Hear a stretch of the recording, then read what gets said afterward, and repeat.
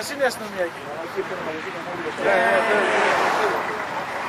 Σε όλη την Ελλάδα σήμερα, λοιπόν εμείς μάλλον κινούμαστε με τραχτέρ για να μαζευτούμε σε κόμμα και μπλόκο. Σιγά σιγά μες στην Πετσοπούλου, συνεχίζουμε πάμε στη Μισέλη, εκεί που είπαμε το Σάββατο. Τακτοποιούμαστε σήμερα, περιμένουμε και τα χωριά από εκεί μεριά από το ποτάμι.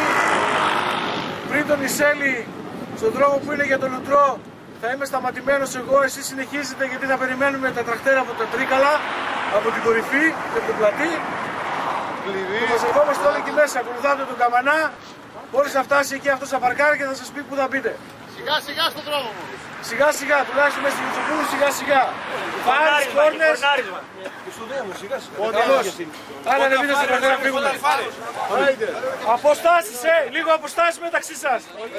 Μη σταματάει ο ένας κι άλλος από πίσω κολλάει.